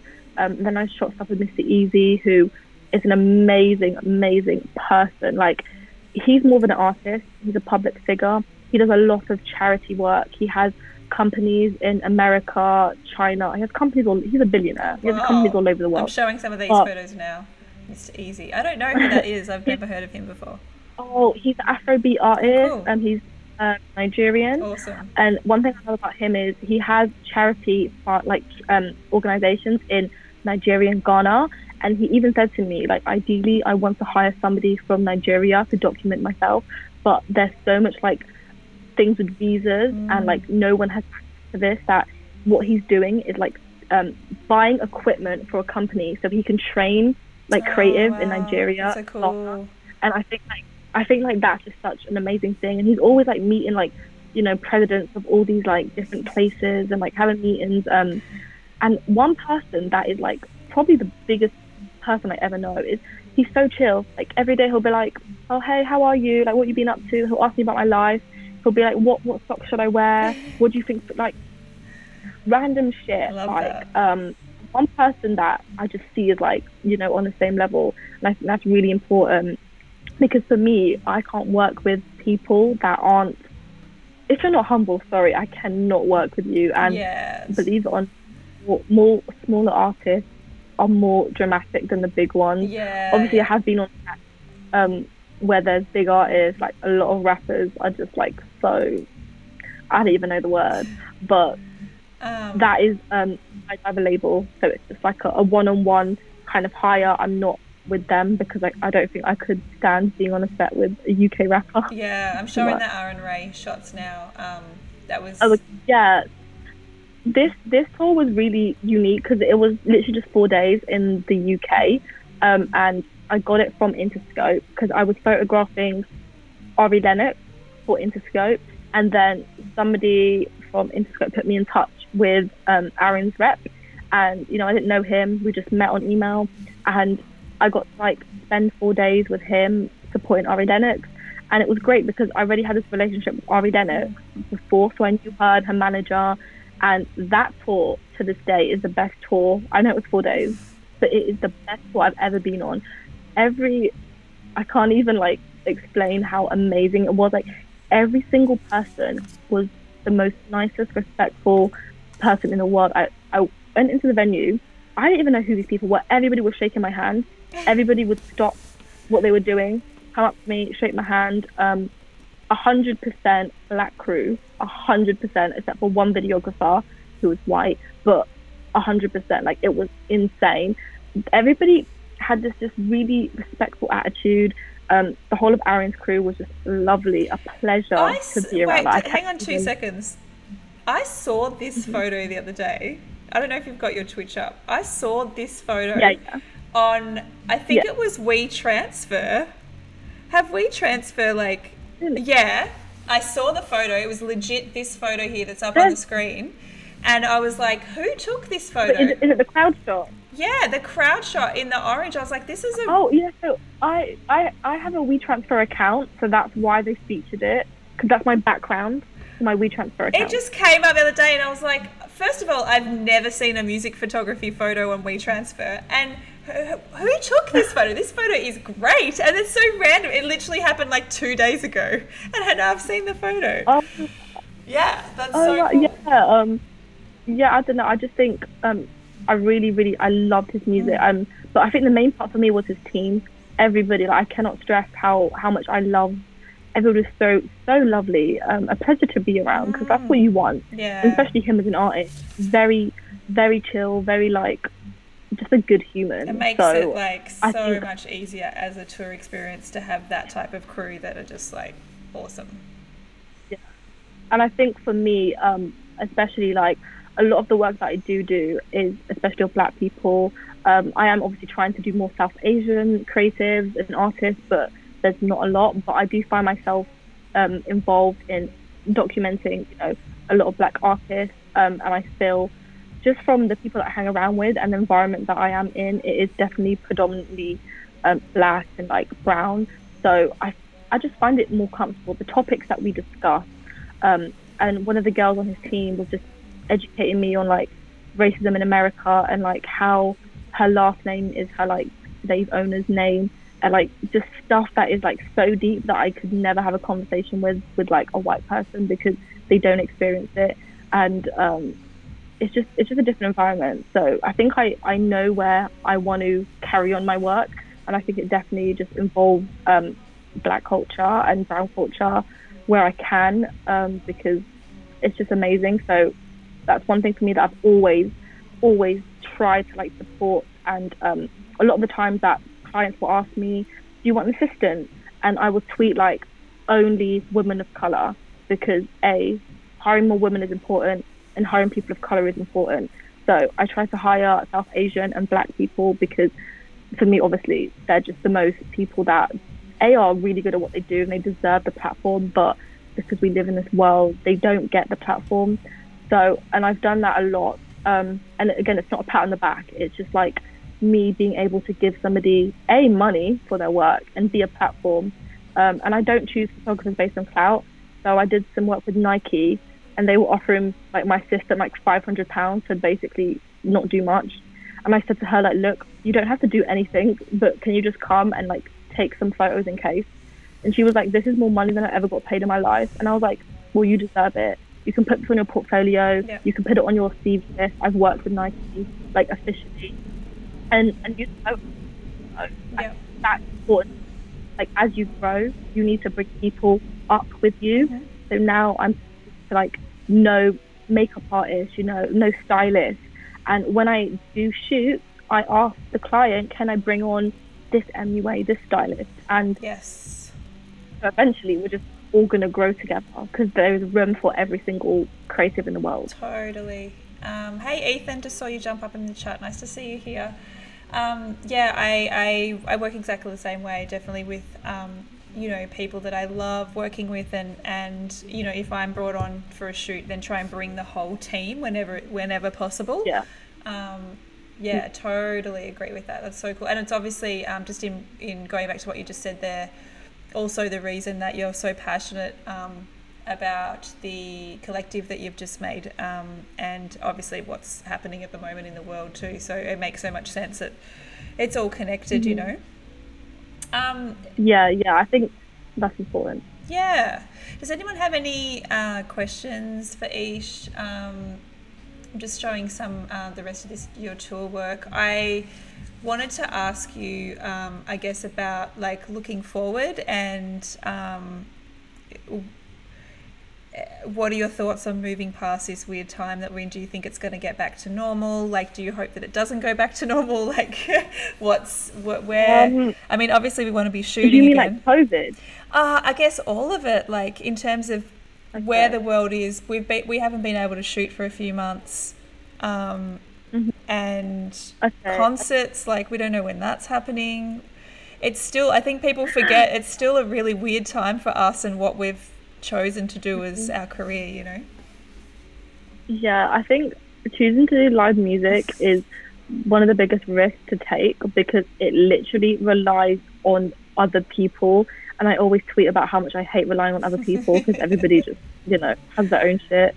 But I think currently live music photographers are gonna struggle Yeah. because already there before this even happened, there's already kind of like a supply and demand kind of like shortage. Like there's so many artists and there's so many photographers, but not every artist is hiring photographers.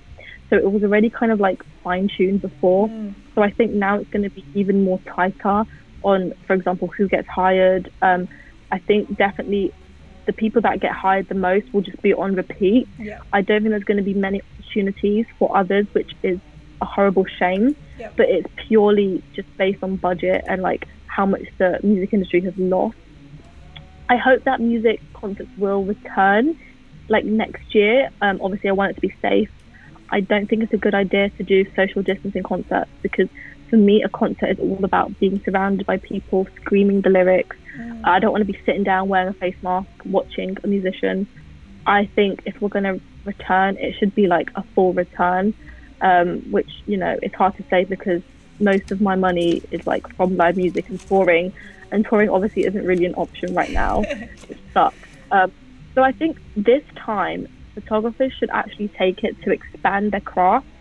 So I know a lot of us have just been taking pictures of nature and the trees, but if you're good at landscape, I mean, if you're really, really good at it, oh my God, you can make so much money. Mm. So find other avenues, try do product photography, um, commercial, you know, brand, and all of that kind of stuff is where I make my income to live.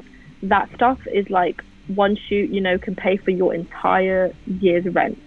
That stuff has a lot of money in it. Um, you just need to have, you know, the portfolio and the clients. Start now, you know, use a lamp, set up a little space in your house, start shooting some products, some sneakers, some perfumes, stuff that like, you know, we need good quality photos for. Um, start doing more portrait work if you haven't expanded. You know, you can do that with your family members, with your pets, with your friends when it is safe to meet up with friends. Um. I think one thing that we need to learn is to adapt.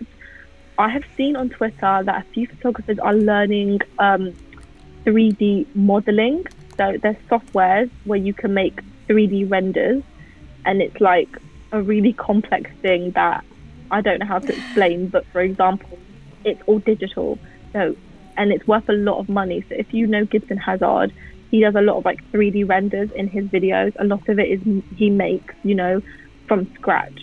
Um, and I think if you can tap into that, it's not exactly photography, it's more digital, but it's about expanding your skill set. And if you can do that, there is a lot of money in 3D modeling, rendering. You can do it for properties. The amount of properties that need 3D renders, um, it may sound boring, but I think all skills, all- if you have it in a fun mindset, all skills would be fun. Um, you know, you could render out a 3D live set. You know, you can. I know Travis Scott did a whole like Astroworld I thing, know. which I, I don't. You know what I mean? Yes. Like with um that game that I forgot the name Uh, of Fortnite? Yeah, yeah, So, yeah, so there's there's so much that is so is happening, and I think it's definitely going. It's going digital. I completely agree. I mean, another reason why I've set my Sunday streams are um, my creative challenge Sunday. So I set a challenge for all of the people that show up in the I stream. love that. Um, for the following Sunday. They've got a week to complete the challenge and then they submit their photographs. And on Sunday, we just go through and look at what they've submitted. And it's like the most inspiring day just looking at all these people that show up to these streams and what they're creating right now. Um, and, e- you know, each week it's Yeah. a different type of photography. Um, and it, it really is to uh, a to keep photographers shooting and inspired, but to, to hone your skills in a completely different area that maybe you haven't thought about shooting before. I think that's um, it's such great advice to um, use the time to you know pick up a new skill. Uh, hey Benjamin, I know I just saw, I saw that you just got here. Um, uh, you can watch it back. Yes, it'll be it'll be up on my page when we finish as well. Amazing. Sorry, but at this, I just want to say at the same time, um, you don't have to create. I think it's really, really important to say that Yes. you do not. You can literally spend the past three months just watching Netflix, and that's fine because that that's exactly what I have done. I thought I would spend these months learning new skills and creating, but I've successfully finished like 18 seasons of like various, you know, um, programs. I'm really proud of that. I'm so proud that I've done that because for me, it's just about taking a rest.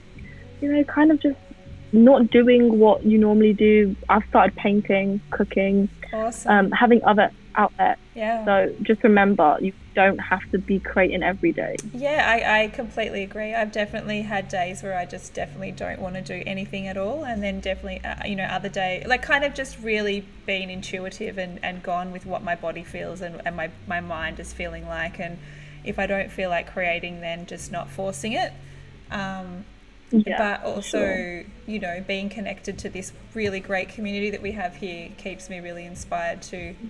Um, want yeah, and I think it's really great what you're doing. Yeah. We'll bring- with the challenges. I think that that's also one thing where people who don't have the initiative to do something and you're able to give them like, okay, this week do a raw challenge or like Yeah, you know little- do this, do that. Just a little um, prod. Here we yeah. go. um, the, Really but the other thing too is, is that I love bringing people on like you as well because, like I said earlier, all our paths are so different and we've all connected through this world of music photography, but um, there's not one of us that has had a similar path into it. It's all like, yeah. oh, I just whatever this you know it's all it's everyone is so different so i love getting people on such as yourself so it can inspire you know if what you know whatever somebody's journey is hopefully it inspires someone you know and, we, and i've got maggie on next week which i'm really stoked about. Um, she'll be on Oh, next so thursday. good. yeah. Um, aaron's got a question um, if we've got time. We do have time as long as um, isha's got time uh, I'm good. how do you choose shooting locations? Do you have a list or keep a map? That's a good question. I've got a little map That's a good in my question. head. Yeah. Um. So, good advice is um, if you go on my portrait section, they should be uploaded. Mm-hmm. What I do is before I do a shoot, I'll make a mood board. So I'll ask the client um, can you give me a mood board so I can feed off that, or I'll just make it from scratch and I'll kind of gauge their audience, gauge their aesthetic, and basically in London we have a lot of videos of like Instagrammable locations and you know where to shoot. So I'll do research, um, but then also it sounds really long. I'll go on Google Maps and go on Street View, and if I know an area, for example, Notting Hill is quite posh. It's quite you know white houses, um, prim and proper. If the client is similar to that, I'll go to Notting Hill on Google Maps, go on Street View, and walk around because you can do that from home. Oh my god, that's like And um, don't don't like- fuck with cats, where they went through the. I don't know if you've seen that documentary. Yeah, yeah, yeah. I love that documentary. Yes. But it's a really good way to like find locations on the street, um, and then just write down street names. Great But most of the advice. time on- I love off. it. Yeah, I'm on the bus and you just pass somewhere. So I'll just like take a picture of anything because your iPhone saves the location on every picture if you've enabled it. So then I'll go back to that picture and look at the location Oh wow. and then write that down. Great. Um, but also, uh, for example, the first photo on my website was portraits. So this location I found because it's basically a place in London that people don't really know of. It's called Leadenhall Market, and the artist was a bit like, kind of, music was a bit like old school, like old fashioned. So I kind of wanted like a proper traditional like London architectural kind of like market space. And I literally just googled like London marketplaces, cool architecture Oh, wow. like stuff that relates to the artist and found this place called like Leadenhall Market. so and found a- Yeah, and found like I found like a pub and like stuff and the artist was like, I have never found a more perfect location that matches what I want to represent myself oh, as. I love that. And from from that we literally got like a, a really close relationship. And like every time he comes to the UK we we shoot. And we did like a random shoot in this. I haven't released them but oh my god my favorite location ever. It's like this hotel in King's Cross. And you're low-key not meant to shoot there but we did. And it's like got a grand staircase Oh. chandeliers and um we haven't released it but it will be out there Guerrilla Um, shoots are my so you have- favorite. The ones where you're not meant to shoot, they're my absolute favorite. Especially if you just quickly sneak in a little, um, yeah. that, that's what I always say if they're going to kick you out they kick you out but at least you tried um, Emma's Emma's just said, "Love hearing the stories behind the photographs." Yeah, that's so cool.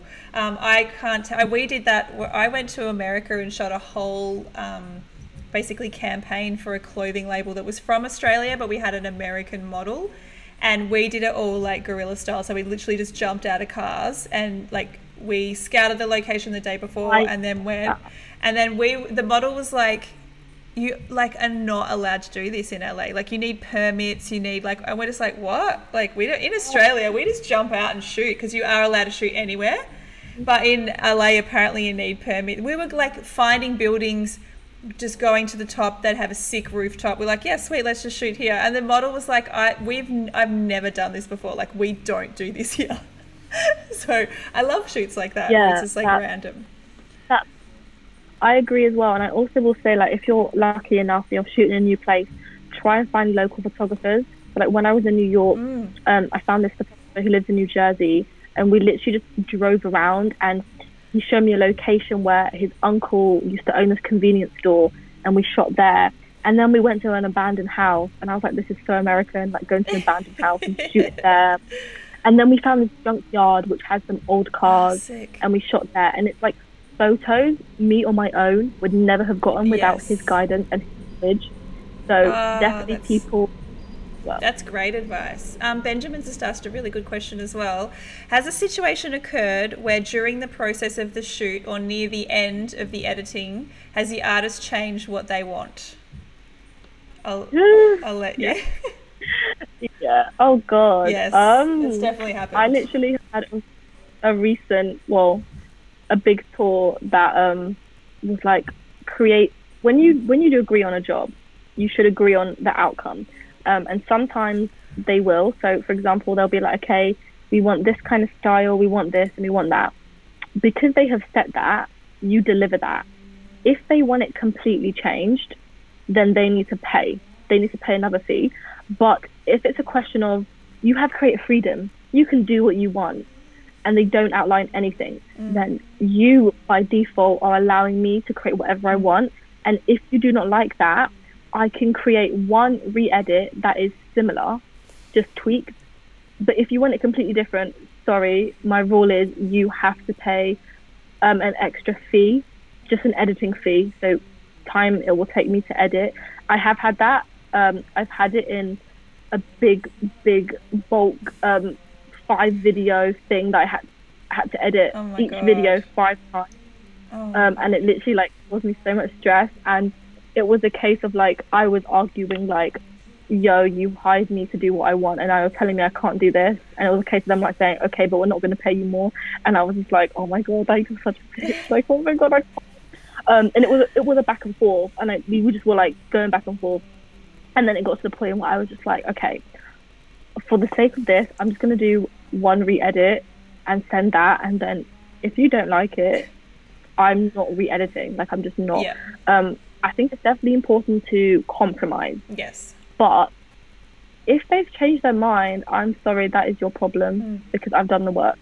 Yeah, a, co- So a just- complete change of mind is pretty rare. Like, um, I definitely sometimes during the, I on on shoots like I have. Um, like Isha was mentioning, like there's mood boards and, and you you know you, you get on the same page before, but sometimes something can happen mid shoot or you get inspired by something something you, sometimes you just want to try something or sometimes the artist has said hey let's just try this. Like i am really flexible in that situation. Like i'm not like oh no that wasn't in the mood board so we're not going to shoot it. Um, so you know you would Yeah, try it. you'd be you're right. flexible and stuff. But if it was afterwards that is pretty rare. I've only had it's probably only happened a couple of times and i try to be as accommodating as possible.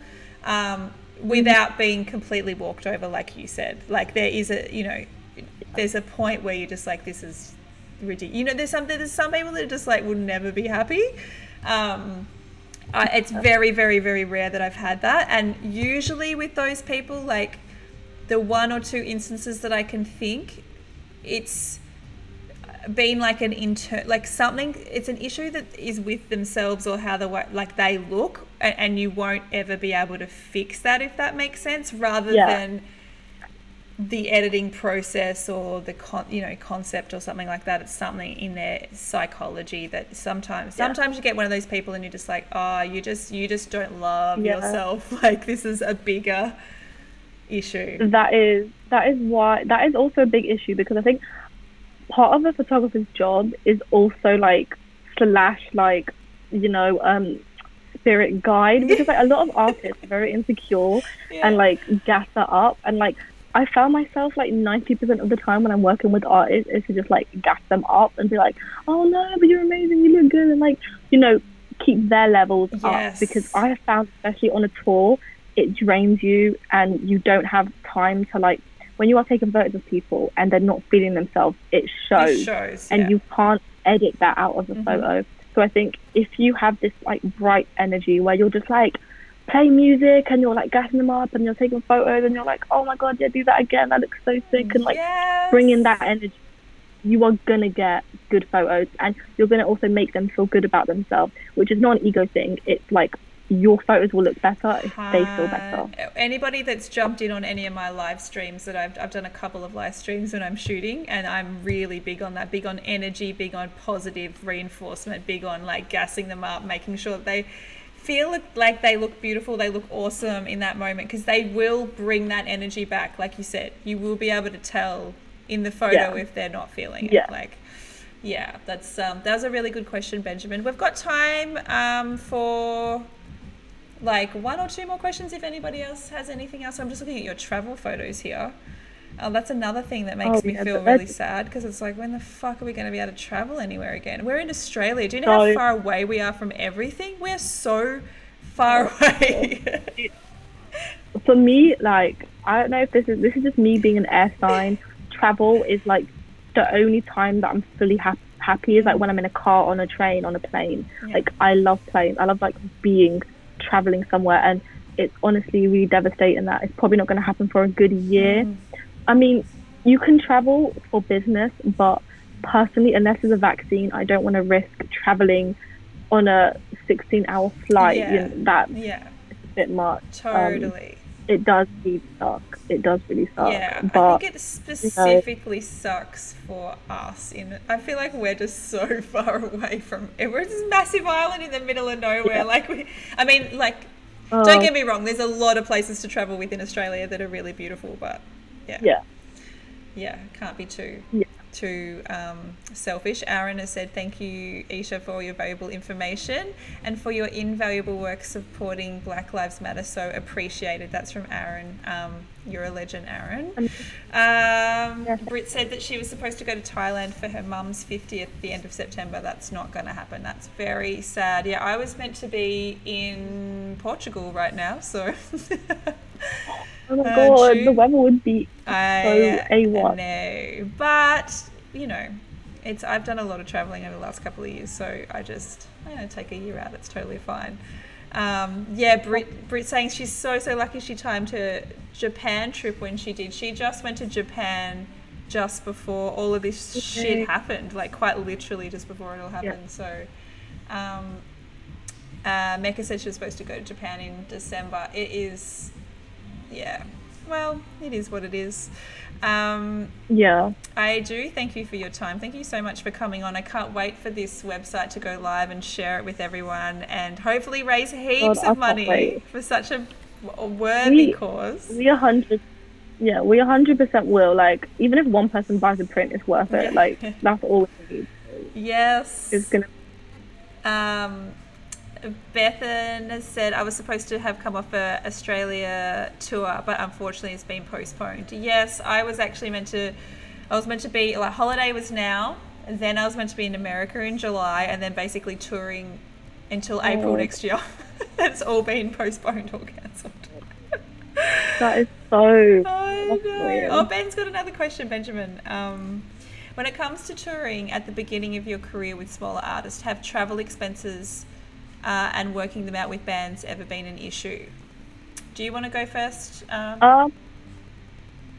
So, uh, no. Okay, so as I explained, my first tour, I had to pay for my flight, but when I was in Canada, all accommodation and all travel within there, they were paying for. Like I wasn't chipping in; they were doing that. Um, obviously, if it's like a a, a, a tour where you have label, then everything should be covered. Like your travel, your flights, like everything should be covered. Yeah. So that's when the client thing. Um, I don't think I've ever had an issue, if I'm honest. Like I've even expensed Ubers that are like personal trips to like McDonald's at midnight, but they cover. Um, yeah, I don't think I've ever had an issue with that. Yeah, I think it definitely depends on the level of the artist and what you're negotiated at the start. Um, like if it was a re- if it was an entry level artist, I probably wouldn't be expensing Mm-hmm. Yeah. much. Um, I know that, like I, I think I've mentioned Yeah, before, I agree. the first couple of the first the first two tours I did were national tours and everything was paid for but the first international tour I did it was all expense paid but I didn't get paid a fee for that one and then ev- like since then it's you know I get paid all the time now. But like um, it, it's weighing that up. It's like what is it your first opportunity? What you know weigh weigh up all of the options and um, i guess don't get too like demandy when you're, you're first starting out. If it's an entry level artist understand that it's this huge expense to take somebody on the road. Um, but if it's an artist that's at a level that's you know doing stadiums and stuff like that then you know everybody Yeah. everybody's getting paid then and it's totally fine. But it's just like it's just working out that what level are they at what can they afford negotiating what is covered what isn't covered. Um, and also uh, Isha mentioned before too like that people are loyal. So like if you do a favor for them at the start and then you know hopefully it can continue like it's a relationship building thing all of those things um, I think are Yeah, really important. yeah. Um, some lovely messages here. Um, Brit said, Isha, you're such a wonderful person and your personality and care for others shines through. I love that. Oh, Kenzie said, thank you That's so much for coming in today. Mecca said, this has been so helpful. Aaron has said, um, Yeah. 100% to Mecca. I completely agree. You're the best. So good to chat to you again. Hopefully next time it's when I'm in London again on the next tour. Yeah, or you're I'm, here. I'm sure that's gonna happen. Fingers crossed. I'm scared of Australia. what? maybe, maybe. What do you mean you're scared? What are you scared of? I don't know. No. The nature and the people. what do you mean? I don't know. What are you scared I'm just, of? That's so just funny. I don't know. You know what though? I will. I do want to. Like, it is a place I do want to go to, but You can't be scared of the No. people. The pe- like the people that are legitimately very lovely people. Like okay. on the surface. I mean, if you live here and it's like, I mean, there's, you know, historical Yeah. oppression and all that kind of shit, like, you know, we can get into that. But if you came here as a visitor, you'd be like, these people, it's like Canada. You'd be like, these people are so lovely. Like, it's, it's like that. Oh. Very, very similar to Canada. But if you're talking about, yeah, you, you'd be, you'd be totally fine and you'd love it. It's totally, if you're talking about like living here Okay. and like the issues, like, yeah, there's some shit, you know, but uh, if you're visiting, it's Yeah. fine. And, don't be scared of like nature because you'll come to the cities and you won't even see any of the spiders or Yeah. snakes or like you know crazy shit that we've got going on in the wilderness and I love animals, but I just don't love animals being that close to me, as in like the spiders and the snakes. Like I have a rabbit. I love animals, seen your but rabbit, yes. I don't want to die. no you won't die i promise you you won't die you 100% won't die you're safe trust me you'll it's love it myth, you know. Just yeah i feel you but it's like you won't you won't even see a spider i don't reckon it's Oh, okay. I don't Okay, reckon. It's good. pretty rare. Like in the city, you don't see them that often. If you were like in the bush for sure, like if I went to see my parents or something, I'd see one. But yeah, Okay. Aaron said car- uh, kangaroos are fucking terrifying to me. Kangaroos are like the loveliest. I mean, they like are so. So their their pouch is a hole in their body. it's just like a little pouch in there, like in a pocket. It's a hole. It's- it's- It's a hole. I saw. It's just a I little saw a pocket. It's a little pocket. You put your little Joey in it. It's like you know, like your back pocket where you put your phone. It's like. It's a hole. I saw a video. It it scared me. They're actually scary animals. I mean, there I there are scary ones. Like if you were in like where the big like the big red like those ones, the big um, boxing kangaroos. There, but I, I don't even think I, I think I've seen one of those once, and you have to go into the central, like into the desert and shit. They're not the ones that you see. Like if you go an hour from here, you'll see some kangaroos, but they're just the little hoppy ones. Like they're cute, cute, and they're not gonna like they're not gonna hurt you. Aaron, Okay, Aaron said he saw a video of one at someone's window punching and kicking like a 300 pound person. Yeah, I mean, like that, like I've, I've seen one of those kangaroos like once in my entire life. So, like, that's like, Yeah. you don't see them. Brits just said random useless fact, but kangaroos have three vaginas. there you go. Oh, interesting. Yes. Okay. Anyway, I will. Anyway, won't Well, take okay. up more of your time talking about kangaroos. But long story short is that you're fine. I got you, girl. Like it's fine. We're not gonna we're not gonna get you killed here. I'll take I'll take I've got to take you to an equally good eating restaurant like you took me. So that's Oh my god, yes. Food is the best thing yeah. in the world. food in Melbourne good. is like the best. So wow, I, yeah, I've got you. Um, thank you again. Really appreciate it. Um, thanks everybody Yeah. who showed up in the chat once again. Um, I'm going to post in the Discord group shortly the new link to submit all your photos because Sunday is Creative Challenge Sunday and we're going to go through all of your photos on the stream. And Kenzie, if she's here, Kenzie's going to be helping judge because she won the Creative Challenge last week. So Kenzie's going to jump on the stream and Oh, amazing. we're going to be judging who is the Creative Challenge person of the week. um, Oh, I love that. it's very That's cute. You are welcome to join anytime you like too. Just come in and pop it on the stream and say what's up. You've got an account now, so you can pop out, pop in. Yeah, I have. Thank you for that. Yeah, I want to obviously thank you to you. Um, obviously, credit is due where credit is due. I think what you're doing is amazing. You're doing this regular thing because it gives people hope. It gives people, you know, something to do. Um, yeah, and obviously you've got your cute little dog over there. That's um, Jetta. I can be. I. Yeah, she's my, Oh, she's my baby. She's just jumping up on me when saying hello to everybody.